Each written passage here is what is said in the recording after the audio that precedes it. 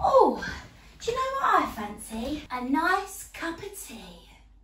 Like a nice cup of tea. In the morning, the day will see. I like a nice cup of tea with my dessert. And a nice cup of tea with my tea. Tea!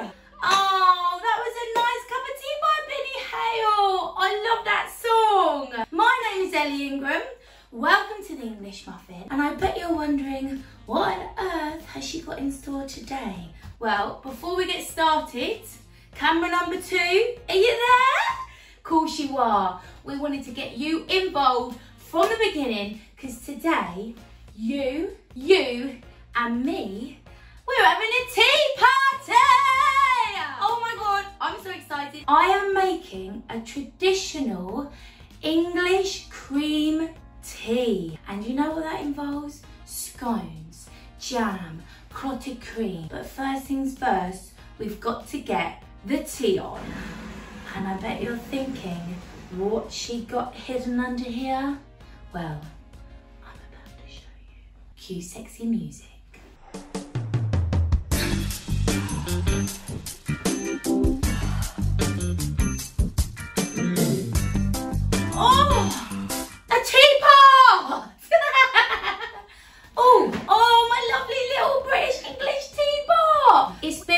Wars, this one. It's still standing strong. We don't want to get rid of it. We want to keep it in the family. When the tea bags, I must say, in this house, we love tea. But today, we're going to go for the El Grelli! When I say I love tea, it's not a joke, okay? I just want to let you know how serious it is. I am part of the tea tribe, okay? Look at this. Can you see? Tea tribe, that's dedication that is. That's a teacup. Look, it's like this teacup. That teacup is on me, okay? Dedication to the tea tribe. It's a serious thing. I love tea, all sorts of tea. Lady Grey tea, English breakfast tea, Darjeeling, Ceylon. Oh, that really strange one, Lapsang Souchong. That tea, have you ever had that tea? That's an intense tea. But anyway, Earl Grey tea, two people, two tea bags, some nice hot water. The tea is brewing! Oh, do you know what? The smell of Earl Grey is just like a warm hug. I just love it. And if you have a tea cozy, pop it back on and the tea is brewing. We're just gonna leave that for a little bit. You want your tea to brew. Do not pour that straight away, otherwise you're gonna have water. Two minutes later. Ooh, let's see if this tea is ready. I do like a nice, oh, that looks perfect. Oh, and look, my mum still to this day gets milk from our lovely milkman. Mum, what's the name of the milkman? Jerry Hallam. Jerry Hallam! Jerry Halliwell? Look at that. That is a lovely cup of tea. Mum, I've got your cup of tea. Here you go, honey. Lovely. Isn't it? Perfect. So cute. Very much. That teacup actually matches my dress. What? Is there anything to go with it?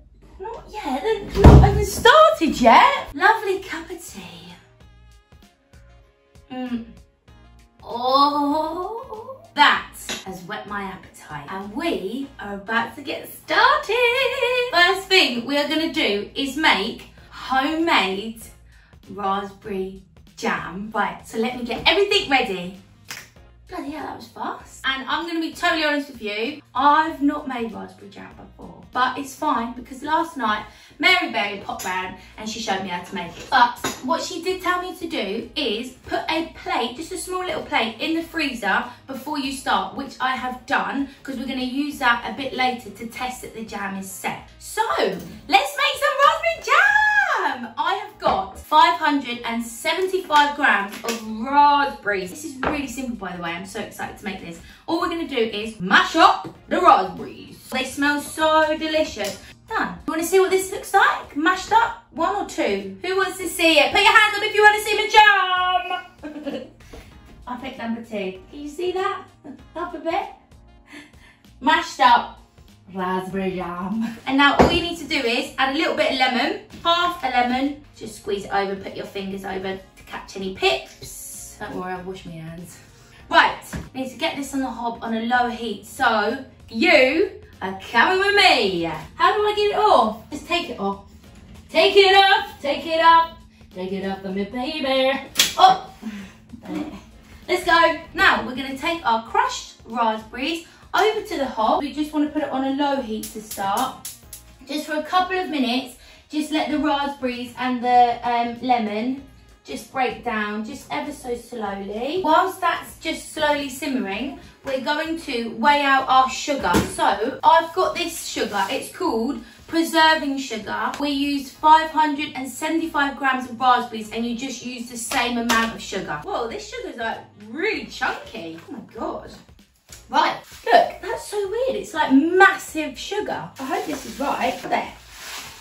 575 grams of sugar going into the raspberries. Now that is one hell of a lot of sugar. Keep your heat on low, stir all of that in. And then what you want to do is, you want to just keep the heat on a low to medium heat for a few minutes so you know when all the sugar is dissolved when you can't feel any more of like the lumps the granules from the sugar. Oh look you can see it's starting to get bubbly bubbly bubbly. You want to bring this to a rapid boil for about five to six minutes so keep an eye on it keep an eye on the time.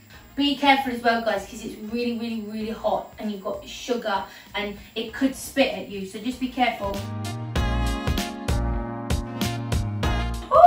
we're jamming. Whoopchie whoopchie whoa whoa whoa. okay, what I'm gonna do is I'm gonna get my plate out the freezer. There's two minutes left on the clock. Cold plate, cold plate. Plate out the freezer. And what we're gonna do is put a little dollop of jam on there and you can test it. You can see, what did she call it? The ripple test. Right, we're gonna put a little dollop of jam on there. Let's see if this works. My little bit of jam the ripple test. Let's see if this is ready. No, that looks a bit runny. Oh, it tastes nicer. I think these a little bit longer. They did actually say you should put a few plates in the freezer. Now I see why. I was like, I'm not fucking putting five plates in the freezer. I'm gonna put this one back in. Ah, time for everything. I'm taking my jam vagina. That's had a bit more time. Let's get another little dollop on there. It is really runny. Let's just give it a minute to just set. So we'll take a moment and say a little prayer. That is a bit better. That's fine. It's ready. right, you take the jam off the heat and you have to leave it to cool for about 10 minutes before you put it into any of your jars. Oh no, I've got jam on my little jam. Oh no, I've got loads on me. Oh no! Oh, First of all, let me just say goodbye to camera number two. You're not We're just moving you back to where you were. Come on, over you come. There we go, darling. All set up. Let's make some scones. I, for this, do need, just to make sure I remember everything I'm doing, my recipe book. Right, let's go over to the scones. I was thinking, do I say scones or do I say scones? But clearly, I know, noticed, I keep saying scones. Few debates we're gonna have, I feel like, when we make these. Scones, scones, jam or cream first. We're not there yet, but we've discovered I say scones. Let's make some fruit scones, let's make some fruit scones. That's what we need to do first. We need 350 grams of self-raising flour. In we go. Put the flour in the bowl. You don't need to sieve the flour, you can just chuck it in. How good's that? Oh shit, I need to get my butter. Okay, 85 grams of butter. What you want to do is you just want to cut this into little cubes because we're going to rub it into the flour to make like breadcrumbs. So just put that in there. Also going in there, we want a teaspoon of baking powder. And then you just want a little bit of salt. That goes in. I'm to take my rings off because now we're to get down and dirty. We want to work this butter into the flour to make breadcrumbs. Now this will take a little while. You've just got to keep rubbing. Look, can you see? Just kind of like this, pushing across to get rid of all of the lumps and create breadcrumbs. That looks good to me. Now what we need to do is, we need 85 grams of caster sugar. Oh no, no. Rewind. So where I got 85 grams from, just made it up. Three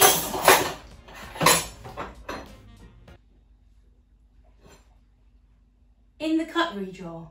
Why? Keep an elastic band in the cutlery drawer because you never know, you might need one. A really big one Mum. Mum. Mum. Mum? You're not answering me, what? Because you heard that I caught the caught you with an elastic band in the is. Yeah, what's it for? Putting an elastic band round things. Okay. Three tablespoons of sugar into your flour mix. Stir that all in. And so we need milk. 175 milliliters. Just gonna put it in there. Lemon. Make sure you get no pips in there. And then we need a teaspoon.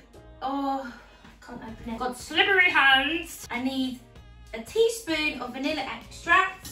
Lovely. That off. Sultanas and raisins. Do not forget your sultanas and raisins. I mean, you could forget them and then you'd have plain scones. That's fine. So you're going to bring that together with a knife and then we're going to turn it out onto the worktop. Just put a bit of flour on your worktop. Ooh, I'm so professional with my flour dredger. And then we're going to get our mix. And you're just gonna bring it all together with your hands. You'll notice it's quite wet, but that's normal. You want to sort of get it um, to be about three to four centimeters thick. Get your cutter, put a little bit of flour on it, get it into your scone and push it down, okay? And then let's make some little mini ones. And then we're gonna go push it down. So next thing we need to do is get these onto a baking tray. There we go, get those all on there. And now what we're gonna do is whisk up an egg to brush over the top of the scones to give them that nice crunchy golden top. And now we are going to get these bad boys into the oven. Right, the scones are in the oven. Our jam has been chilling in the background. I think it's time to have a look. Oh, oh. Some bits have actually gone jammy, um, but some bits, aka most of it, is uh, still a bit runny. But that's okay. Maybe we'll put it in the freezer. So my jam is looking a bit more like a Kool-Aid. So I'm gonna put it into the jars and I'm gonna put it into the fridge for a bit to cool down. Now these jars have been sterilised. When you're making jam, you must sterilise your jars. So if you're keeping the jam for a long time, it doesn't go all dodgy in like six months time when you go to open your jam. So these have been washed in soapy water and then they go into the oven in a really low heat for about 10 minutes. And that's how you sterilise your jars. So we're gonna get our jam in. Jam everywhere! Jam all over my lovely party dress. My party's ruined. Pop your lids on. Mm. Oh, that's confusing. They both fit on the same jar. Oh no, that one doesn't. That must be that one. Oh no. Is it that one? What one is it? Oh, is that right? That's it. Mm-mm. Pop your lids on your jars and then pop your jam into the fridge. Or in my case, the freezer. Oh, oh my god, Oh, they've got a lovely golden colour on them, just what you want. Oh, okay, so we just need to leave these to cool for about five to 10 minutes. You just want them to cool a little bit so they just start to crisp up. All right. Oh yes, these look perfect. Still nice and warm, but the top is just just got that nice little crunch. But now it's time to check out the jam. Now we know the jam was looking a little bit runny, so we popped into the freezer, hoping and praying that it has set. Let's see. Oh, oh my God. Oh my God. I'm not even going to be dramatic on how much it's set, but look at this.